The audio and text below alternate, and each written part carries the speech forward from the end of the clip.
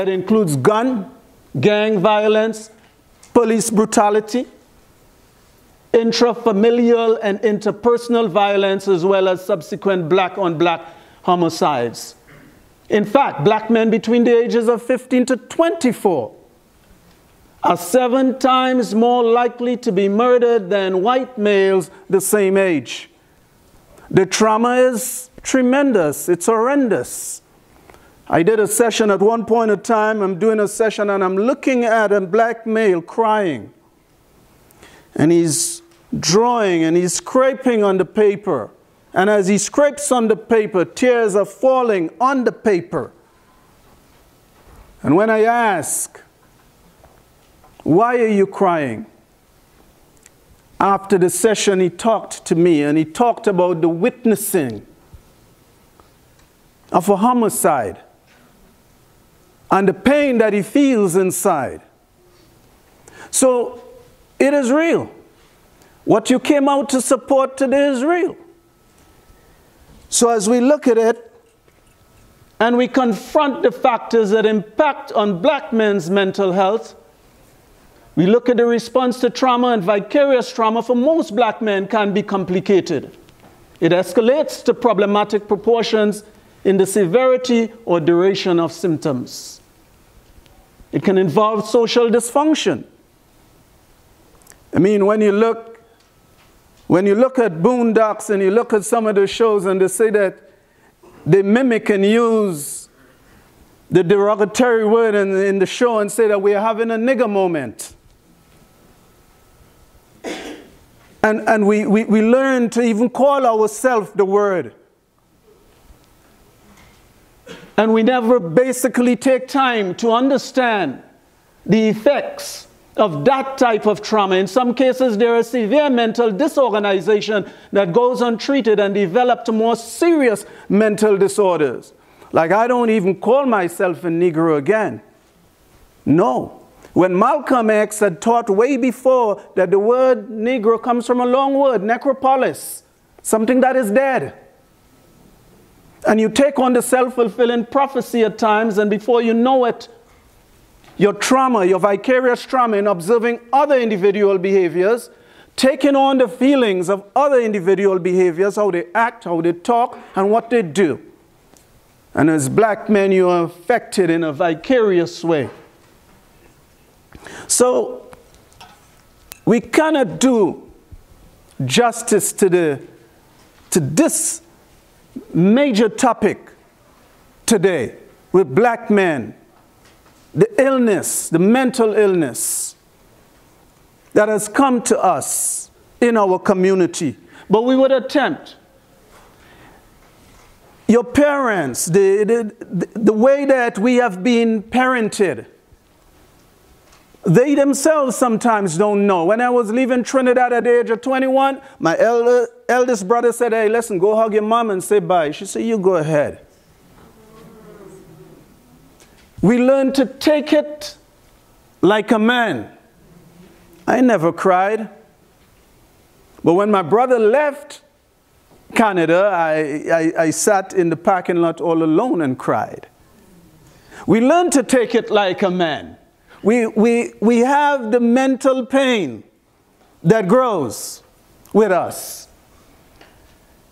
Culture and history frame experiences and expectations when it comes to the way most black men respond to mental distress, and this places men at a disadvantage when it comes to their mental health.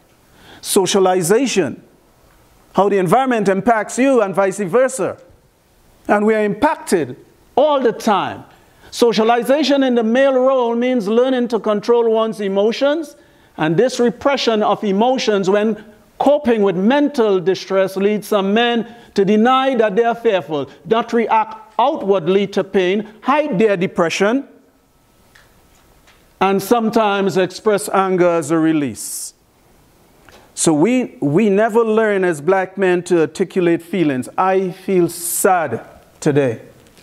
Or you reach to your wife or your friend and say, I feel frustrated today.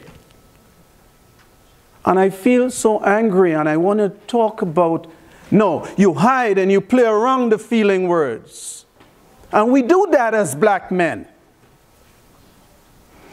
But the thing is, when anger is more socially acceptable, and you choose to talk about your angry outburst and, and you're not getting into the feeling words. Not at all. Most men are more comfortable dealing with mental distress cognitively, for example, by talking about the circumstances that cause their distress, but not their feelings about the situation. Hey, Dave, am I 20 minutes yet?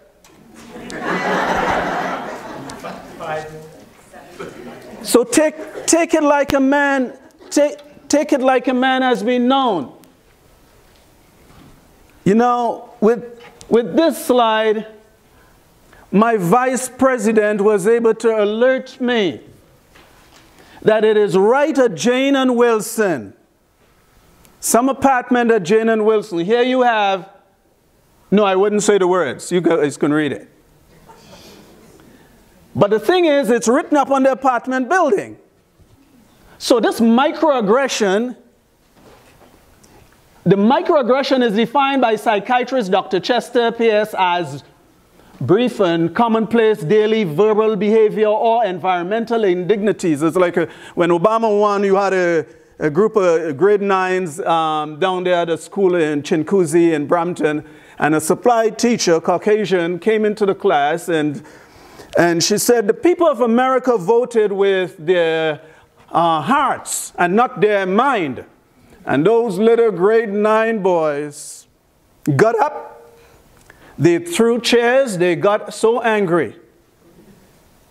The, the, the microaggression that we talk about, it is real.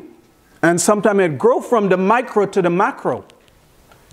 So yes, it, will need a, it would need to be addressed.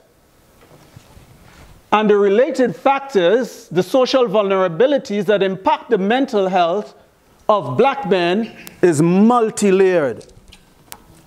And this is why we don't even have time to deal with it. Well, we know that poverty breeds a host of ramifications. We know that. And at times it gets to us Statistically, you see a wage differential of 19% is evident between black men and men who are not members of a visible minority group. So, if we were to address the poverty, it would be in the, the entire presentation. Talk about the education. In the early 1990s, George J. Sefa led a long longitudinal study examining black youths and the Ontario public school system, we concluded that the term push out was more appropriate than drop out. So, service providers, parents, a, a big job. The school to prison pipeline, I mean, it still exists. I mean, we know that the, the, prison, the code of the prison system it was given to the school system from uniform everything. Those who are all like me would know in Trinidad, you go hands up, and that's in school. Hands up, out, up, out, fingernails. And they check your fingernails. And I grew under the system where you get under 70 in math, you are whipped. And that was the system. But, the, but Michael Foucault would, would argue that, that the whole idea of the prison system, it is something that they took from, we had the control exam in the Caribbean that we call the common entrance exam. But our getting into trouble at school is often the first slip into the school to prison pipeline. The criminal justice system, the criminalization of black men with mental illness.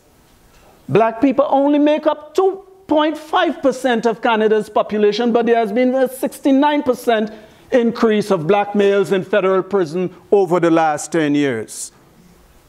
I remember again, I'm here 26 years. I never had a criminal record.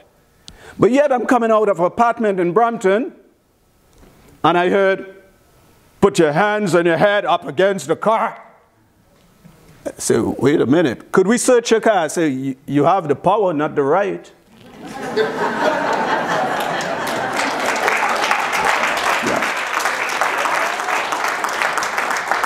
Now I tell you, it's a long story.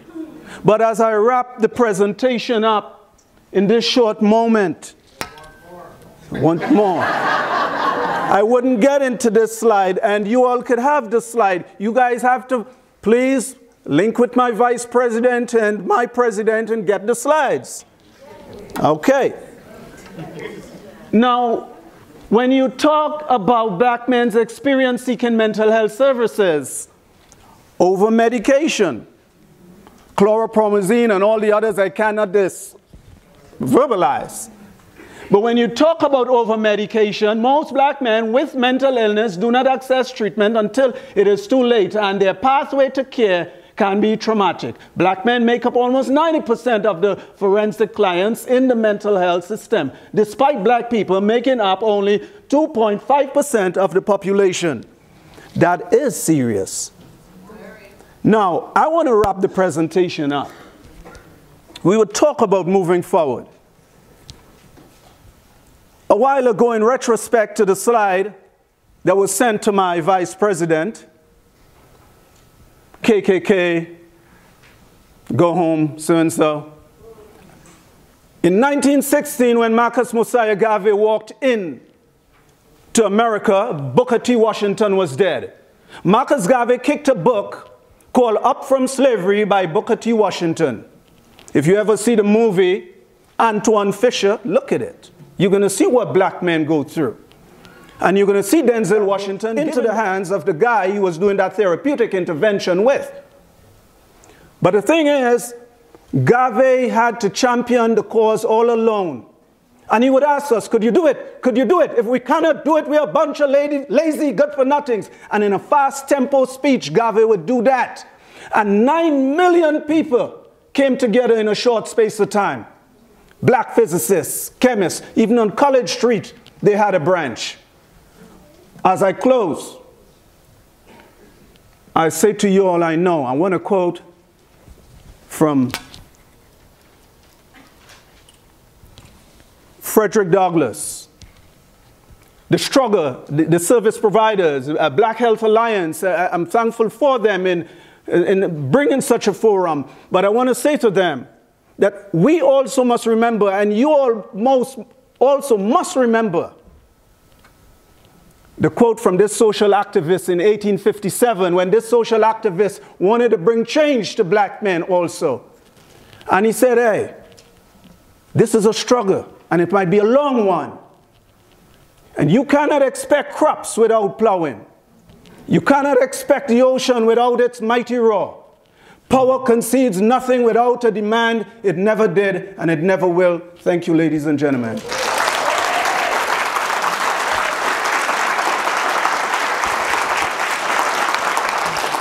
I will allow for a maximum of four questions this time.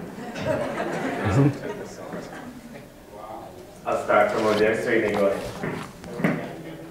Thank you for that presentation. I was just going to say, um, one thing that was interesting to me is um, when we talk about mental illness and health, and particularly within you know, the context of the black male, um, I, I, think one of the things that we struggle with before we even get to, to, to, to discuss notions of health is talking about questions of black masculinity.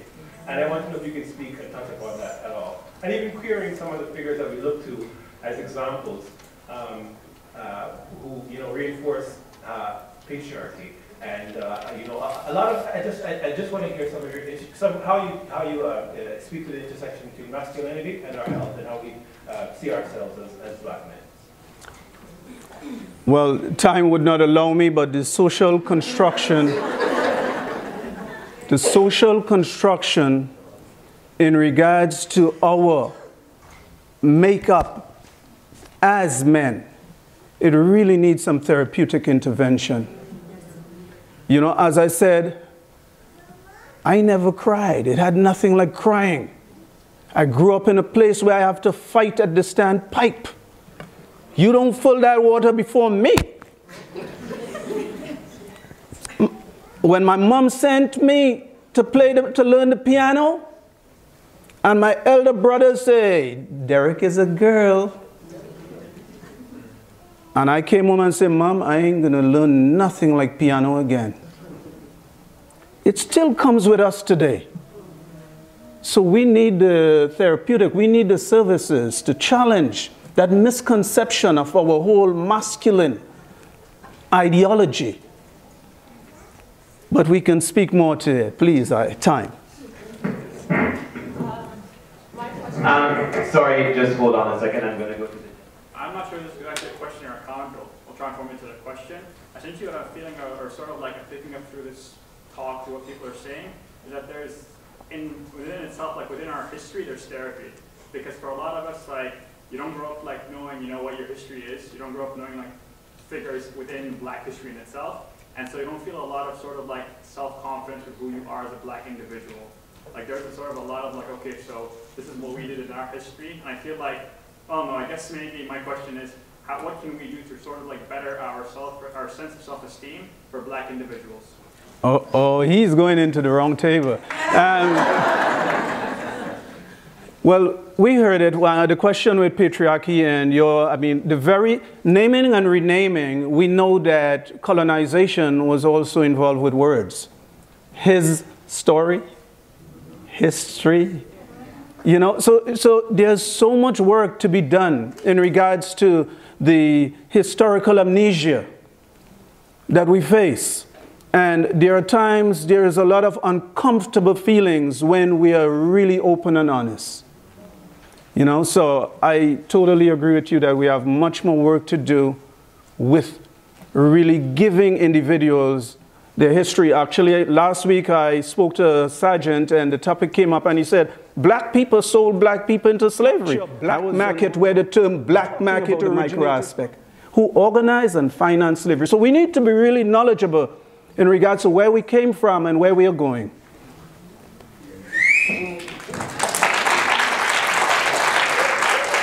I will allow the question over there.